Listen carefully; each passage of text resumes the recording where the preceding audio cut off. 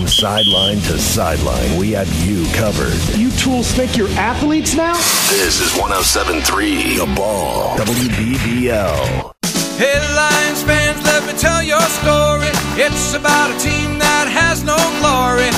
For years they have had no lines on both the offense and defensive side. I should have known it from the very start.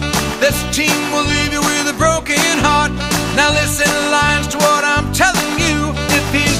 two, you're taking Don McKenzie. I miss the glory days of Bobby Layne, the runs of Barry and a coach named Wayne.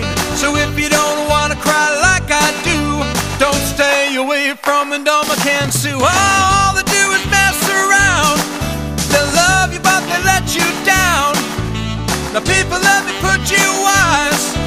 Suh is one of those can't miss guys. Here's the moral of the story from a fan who knows they fell